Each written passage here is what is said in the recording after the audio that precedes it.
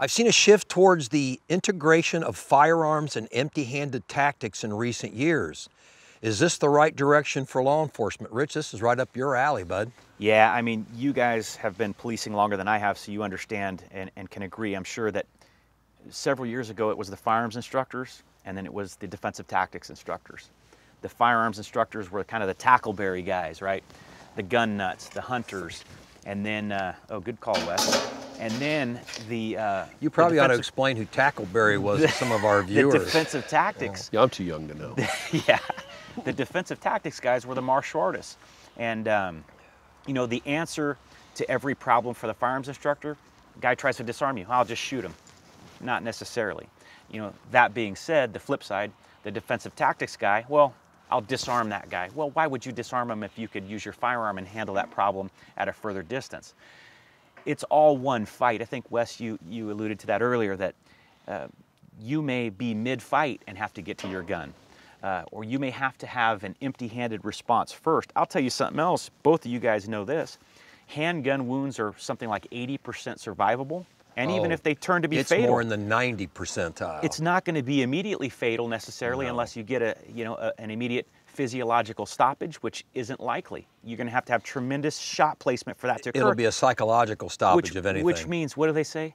What does someone do after you shoot them with a handgun? Same thing they were doing before you shot them. So just because you shoot them does not preclude you from having to fight them.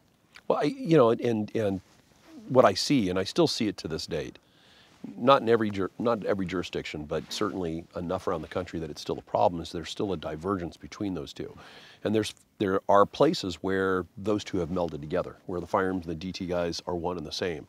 Um, but but even on that same side, from the firearms perspective, talking on the physiological side, I watch these guys go out and shoot, and I had a whole department here recently in the last two, three months where everybody would shoot this inanimate, unmoving paper target and then track the imaginary target to the ground. So, what are you guys doing? Well, I'm tracking him as he's going to the ground. How many people have you shot? Because they don't always go to the ground. You know, I've, I've seen guys run off and disappear. It's- What do you, you are you conditioned to they track? look like an old water pump handle. exactly. Yeah. Uh, You can't tell what they're going to do when No. you shoot them, no more than you could tell what's going to happen when you hit them. You stay on them, and then whatever they do is what you do. Yeah. But yeah, you're absolutely right. You know, I came from an agency where we had a firearms instructor, a defensive tactics instructor, a pepper spray instructor, a traffic stop instructor, a cultural diversity instructor. They just happened to be the same guy. yeah. Cultural diversity. huh? You know what? I look back on it now. Yeah. Sensitivity. better guy. Actually, here I am. You know, but I look back on it now, even though it was a lot of work for me, I realize it made me a more well-rounded instructor because when I'm talking about the gun, I'm starting thinking about, well, wait a minute, what if it starts out as a fist fight? And let's face it, armed citizen, law enforcement officer, a lot of gunfights start out as a fist fight. Oh yeah. I'll tell you what, an armed citizen has even a greater need for empty-handed skills because he doesn't have a taser, he doesn't have backup, he doesn't have a vest, he doesn't have a radio. It's him with a, leth- a lethal force option, easy for me to say, apparently I need some more tool, more do. A lethal force option and his hands, that's what he has. Well, you know, people ask me all the time, you know, what kind of training should I get? And the first thing I tell them, because they want a gun training, they want to do a gun training class. And I say, no, you need to get an open hand skills class.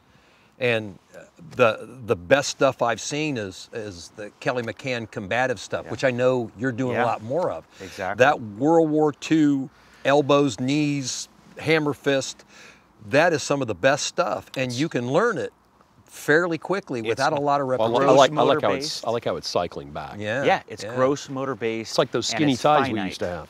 It's all coming back. Yeah, yeah. You know, I, there was a quote, and, and it's it's kind of on topic, off topic, but you know, a long time ago, the very first annual conference that the NTOA ever did was in Albuquerque, and I can't remember the instructor's name, but we were all working a, a subgun class or something on the range, and it was something about engagement on a target and then keeping your eyes on the on the target, waiting for that next threat, and what the guy said was, we all have these neighborhoods where if you fire one round off, 100 people will drop to the ground because they're conditioned to drop to the ground. It doesn't mean that you've shot 100 people.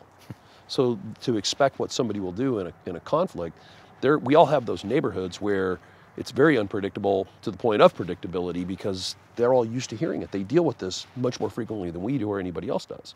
That's like the old adage hey, if you strike someone with the palm heel and the nose, you're going to shove that bone into the brain and kill them. Okay. Where, Yeah. Where's the nose bone that everybody's talking about? Yeah, so I've had mine broken three times, and, And it, it hasn't ended up in my Jesus brain yet. That I, Christ, Not that I know of, anyway. Well, if you've ever held a human skull, you could, where in hell's that nose bone? You know. Jesus. Good stuff, guys. Good stuff.